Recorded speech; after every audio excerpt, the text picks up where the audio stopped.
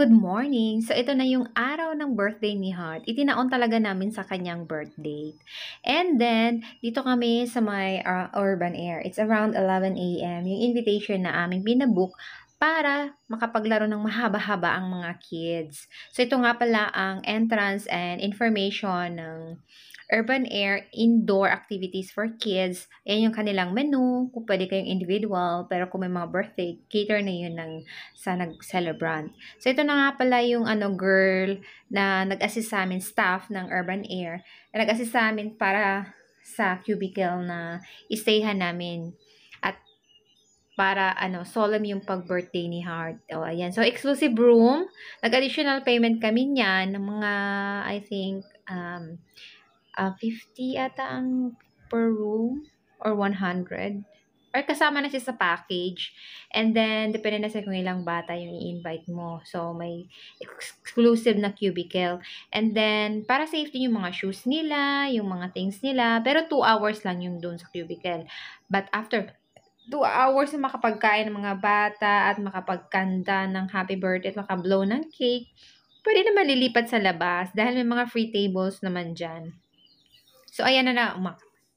Pwedeng uh, mag-skywalking yung mga bata. Merong bump cars. Merong trampolines. May sky, um, yung, ano ba yung zipline, ganyan. At marami pang mga games, games na. Yun na, yun na!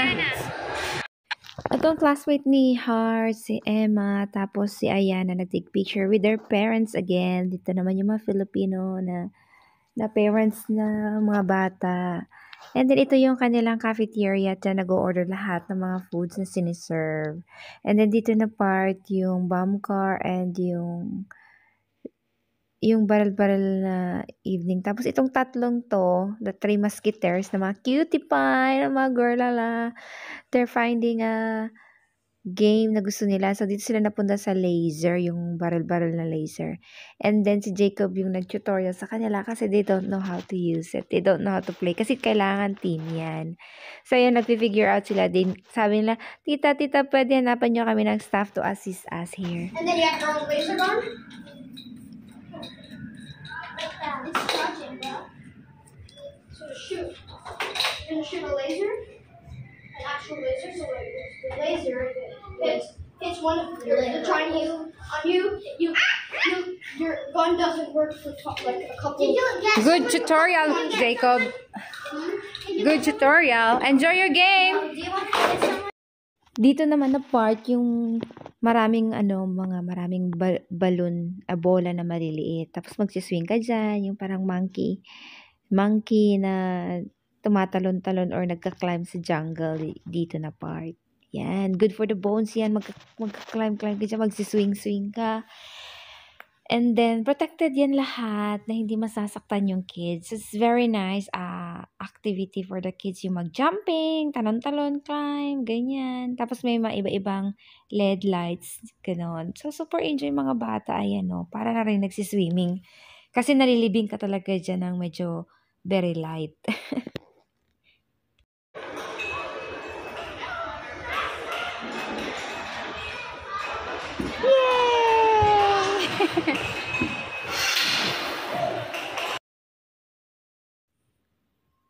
Ito naman si Natalie, super sweet na girl. I love her. She likes outdoor activities like swimming, um, hiking sa forest, mga Suddenly, tinawag na nga kami lahat kasi oras na para kantahan ng happy birthday ang celebrant at the food is served already. Wala akong video dito kaya nakihingi na lang ako. Pero bago pa man makumpleto ang lahat, tinawag namin yung the rest dahil nag-bomb car pa sila. So, nilabas ko sila tinawag at iniyaya na magla-lunch muna tayo at magko-continue mag-play later. Magkanta tayo ng happy birthday.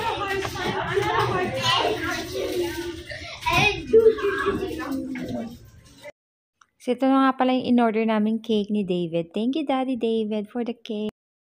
Dahil walang super mega photoshoot ang lahat, ito na lang sila ang natira. So, kaya sila yung nag-photoshoot before pa umuwi. Super saya ng mga kids. How old are you now? Go. How? Are you? Are you? Are you one? Are you two?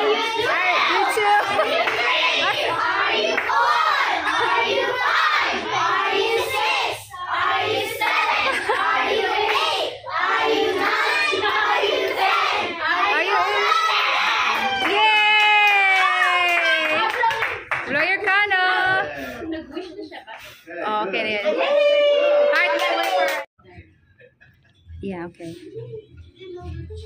Okay. Heart! Heart!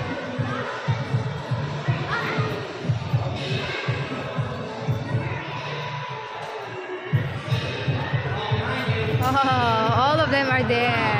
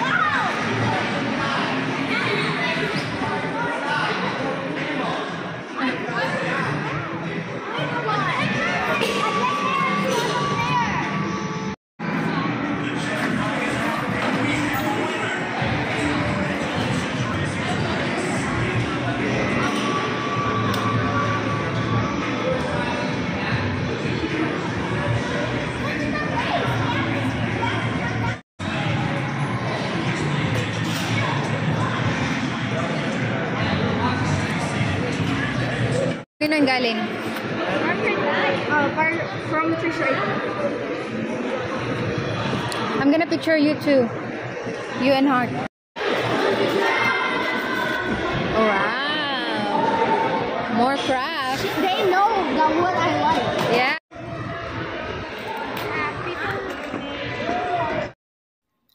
Eto nga na, nag-open na ng gift si Heart. Nasa labas na kami. Wala, kasi finish na yung time namin sa cubicle. At dahil nagpatuloy pang maglaro mga bata, inabot kami ng hanggang 4 p.m. From 10 a.m. to 4 p.m. O, di ba? Napaka-hype ng mga bata.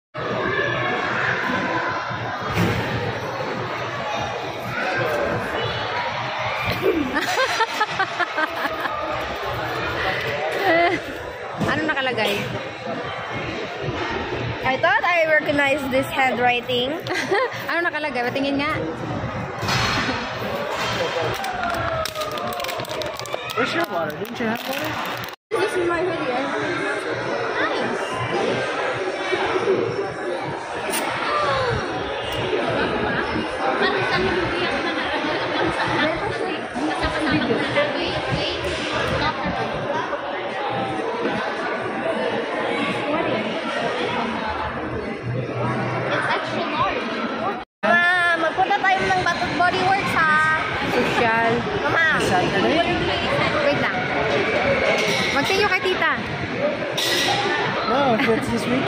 But we Ito nga pala yung moment na pinagbabanding namin yung mga kuma- anak na mga kumares namin dito sa Florida. Kasi nga, uuwi na for good. Sila, sina Jinky at ng mga kids niya, maninirahan na sila sa, sa Philippines. Kaya noon, nung birthday ni Heart, na timing din na may time pa sila to spend with. Tapos Monday ito para hindi masyado busy din sa part.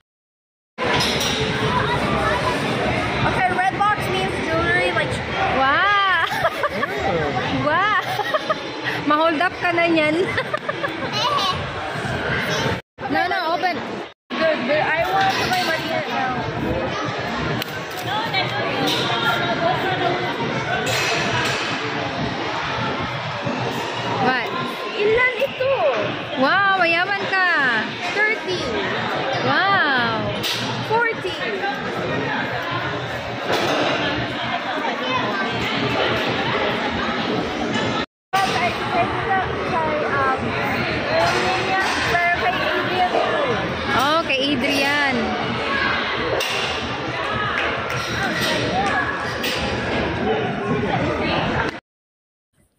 So, yun, nagka-banding pa kami ulit ng mga parents bago pa tuluyang umuwi at mag-travel ng Philippines sila Jinky at yung kids niya. Ayun, nakapag-decide ang mga kids na kumain ng ice cream. Thanks to Tita Nancy for treating us ice cream. Urban Air. May, may nasa likod natin, bilisan natin. See you! Oo. Thank you, Grandma, for this wonderful gift that you made me. Thank you. I really appreciate it. I love the design too. Thank you, Grandma. I love you. Bye. Mwah. a candy too. Oh, okay. This for you, Sam. Uh, look at all those balloons. Oh, wow. Wow. Wow. Balloons. Balloons, you want to make one?